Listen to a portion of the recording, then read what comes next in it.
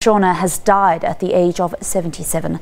Among his famous works are plays such as uh, The Island and Sizwe Banzi is Dead as well. Ntshona also starred in both plays for a number of decades, winning the prestigious Best Actor Tony Award for both.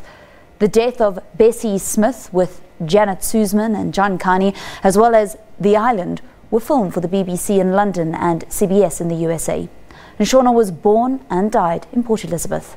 He matriculated from Newell High School, where he performed in school plays with John Kani and co wrote scripts with the likes of Athol Fugard.